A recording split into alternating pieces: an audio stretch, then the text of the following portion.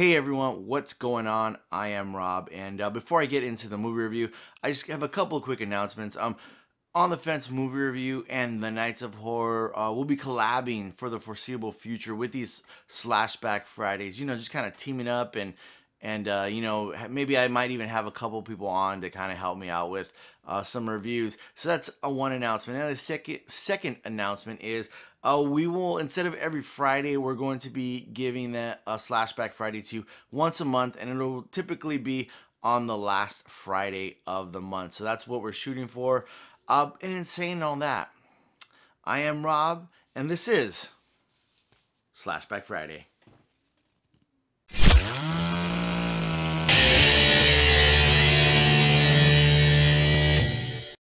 Now, in this episode of Slashback Friday, I'm going to review a movie that came out in 2013.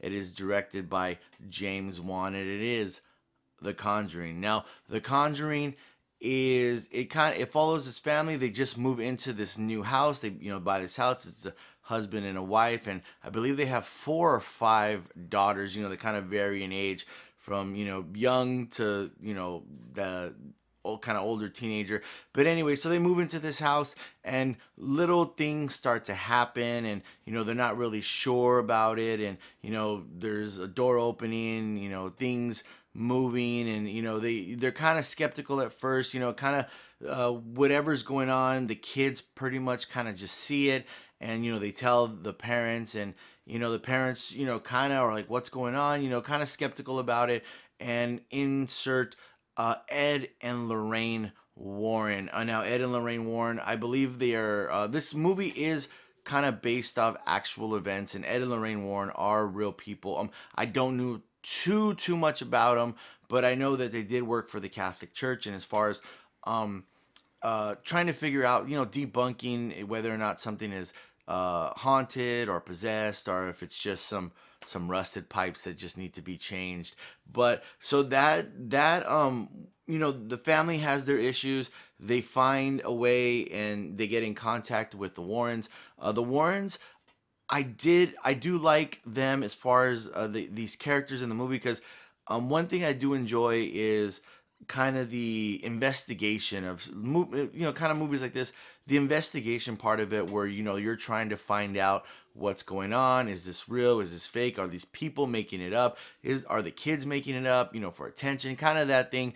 And at the very kind of towards the beginning of this movie they uh you know the following the warrens and you know they aren't quick to jump onto the oh this is haunted or this is paranormal kind of thing you know they're very they're skeptical they have realistic views on things. It's like oh well you know this is actually what's going on. When you open this door it moves this and this is where you get this. You know it's just you know uh, old pipes that make this noise and that's where you're hearing the sound from.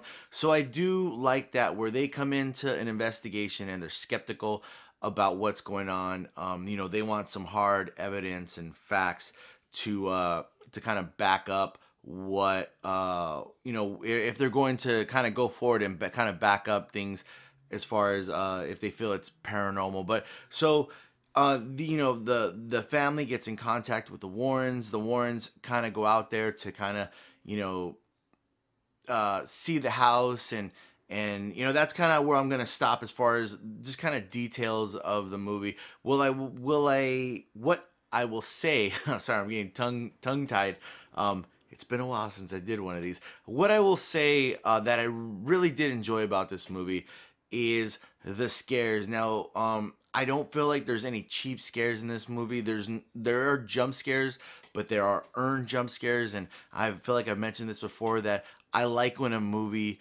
earns its jump scare, not just you know. Uh, you know they open a cabinet and the cereal falls and you know there's loud noise and that's a jump scare i i'm not a huge fan of that but if a movie can build up suspense and and use music and just kind of sh- you know shadows and the way the camera moves um that really gets me and that kind of hooks me in. Um and so i will take a jump scare but it's got to be earned for me to really enjoy it. Uh just and when i say music the music overall like just the, the score the way they you know the kind of they use the music obviously to to scare you but just you know kind of to to set the atmosphere and the vibe of the movie. I really did. Uh, I do enjoy that. uh, all the actors in the movie, the you know, the kids. Sometimes when you have kid actors, you don't know how that's gonna go. But all the kids, from the youngest to the oldest, did a really good job. Um, you know, I feel like there, there no one was overacting or underacting. I feel like everyone just kind of they nailed their their role, and that I did enjoy. Um, oh, like I said, um, I they they they go to this house and they kind of investigate. You know, like I was saying before, um, and that part I do like because you know you see them setting up stuff, and you know we got we got this here in case something happens here. We got this camera here and this recorder here and this microphone here. I really enjoy all that part, and they kind of do go into detail about that because Ed and Lorraine Warren, um, you know, work with the Catholic Church and like do investigate all kinds of things. So they have all this equipment, and that just kind of you know I see that I'm like, oh, that that's really cool. Um, so that gets me hooked in. Um, some negative things I will say about this movie, and not too many things.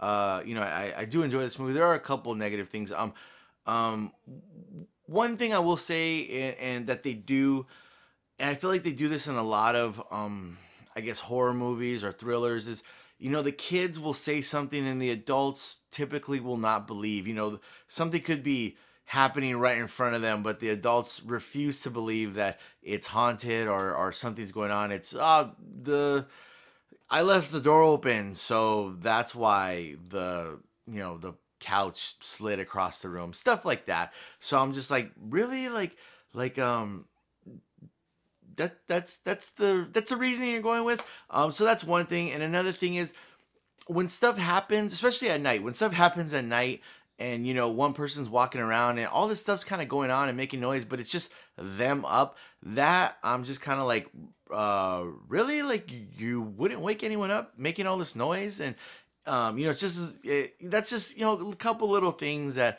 that i you know not didn't take me out of the movie but just some things that i would point out and be like okay like you know, I, I get it. Most most of the time in horror movies, there is someone who something happens right in front of them, and they're still like, "No, I I uh, that's because I dropped it there. That's how it got from the cabinet all the way to this other room." Um, so stuff like that. But overall, I really do enjoy this movie. Um, it's in my top ten of horror movies. It, you know, it's up there. I would even, you know, it's closer to top five, but I really enjoy the enjoy the Conjuring. So, in my opinion, I would say definitely get off the fence and check out The Conjuring because it is, in my opinion, one of the top horror movies that has come out in the past 10 years.